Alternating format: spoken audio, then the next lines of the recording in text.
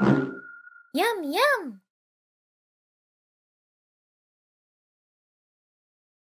Welcome to this overview of Uberball version 2.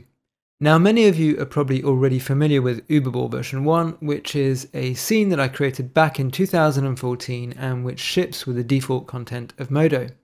So what Uberball is, is a shading studio which offers a variety of different surfaces and different lighting conditions for you to test your materials under. And the reason that I created Uberball in the first place is because I create materials all the time and I needed a robust environment in which I could create materials that are going to translate well to production scenes. However, after using Uberball regularly for the last three and a half years, I really felt it was time that the scene was updated because I felt it could be improved in many different ways. So the new Uberball is much more flexible and also has much better lighting than the original. And it's been recreated from the ground up, so I've redone all of the rigging, and the other thing you'll notice is the assets now have much better UVs. And the new Uberball is now designed to cover a much wider range of shading tasks. So as well as the main shader ball, there's also a number of render passes which allow you to perform completely different tasks. And I'll show you those in a minute. But let's start with the main shader ball. Now, to begin with, I'm just going to make this GL view a little bit more readable. Sometimes Modo can display metallic materials as black in GL because of the way that the environment reflections are set up. So you can change this by changing the GL reflection to environment, but that can slow down your GL viewport. So what I've got in the Uberball scene is just a matcap shader, which uh, is set to GL only, and that will just allow a clearer view of the scene in GL. So with that done, let's look at some of the controls. If I click this yellow locator, it's going to bring up the rig for the ball. So there's three items that you can choose from. There's the standard shader ball, there's also a cube, and finally there's a wedge. And the wedge is particularly useful for transparent or translucent materials. The other thing you can control is the scene scale. So it defaults to this 10 centimeter high ball, but you can also go to a meter high ball and you can see the label in the middle changes. And there's also a 10 meter high ball. And this means that if you're using procedural materials, the scale is going to be accurate. So obviously if you need to shade a larger object, you want to use one of the larger shader balls. Next, we'll have a look at the zooming controls in this middle locator. In the original Uberball, I had to decouple the GL camera from the preview camera in order to get this control to work, but now you can see that everything works in the same camera and the GL view and the preview match. And finally, if you click on the blue locator on the right hand side, you have the environment controls. Uberball version 2 comes with 12 brand new environments and they are of much higher quality than those I used in the original Uberball. In the original Uberball there was only two or three environments that I used regularly, but these 12 environments are all really good. The first six are interior environments and I'll just quickly cycle through them. And you can see that they give you a really wide range of different lighting conditions that you can test your shading with. And finally, the last six are going to be exterior environments, showing you different times of day so you can see how your materials are going to react under different lighting conditions. And there are also some additional controls. So I'm just going to go back to environment number two and demonstrate the environment rotation and the saturation and brightness controls. So all of the environments can be rotated. And as you can see in preview, that is going to profoundly affect how the scene is lit. And again, this allows you just to see how your materials are going to react, whether they're lit from the back, from the side, or from the front. And it's really useful when you're shading to be able to see these kind of things. It helps you to catch potential problems and just to get a feel for how your shaders are going to work in production environments.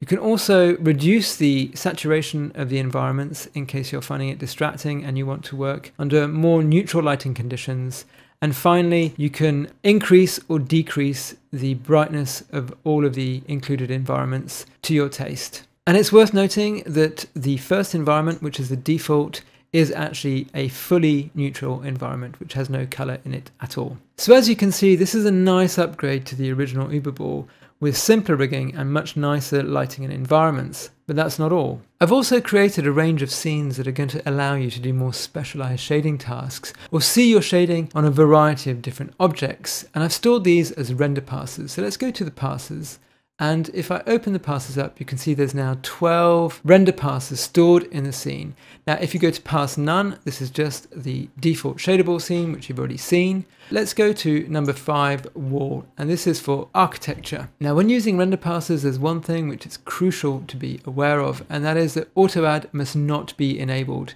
If you have auto add enabled and you start making changes inside a render pass, you're going to make a terrible mess of your scene. So make sure it's disabled, and that means that any changes that you make will be global to the whole scene and not local to a specific pass. So I've just switched to a material which is more appropriate to demonstrate this particular render pass and I've just let it cook for a while.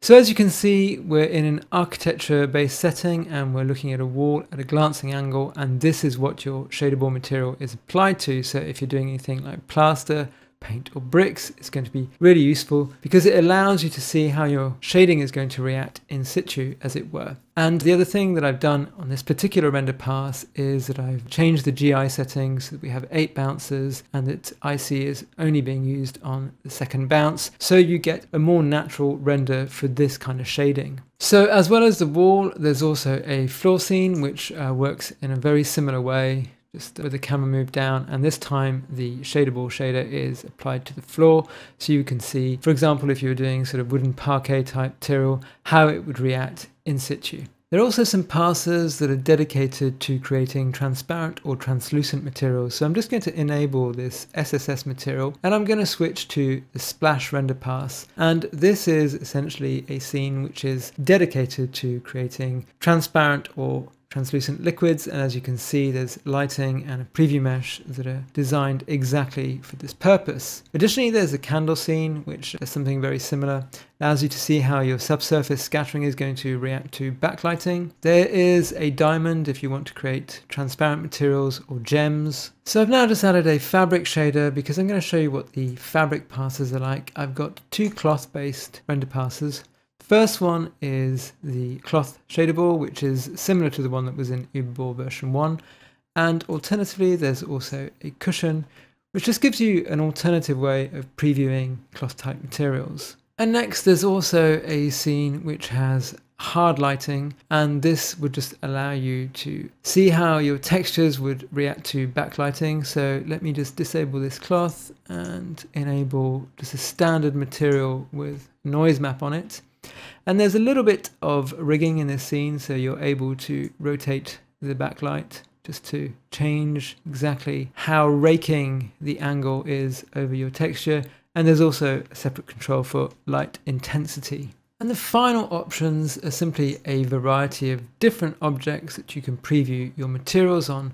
And these all come with the environment controls familiar to you from the start of the video with all 12 environments available and all of the different controls.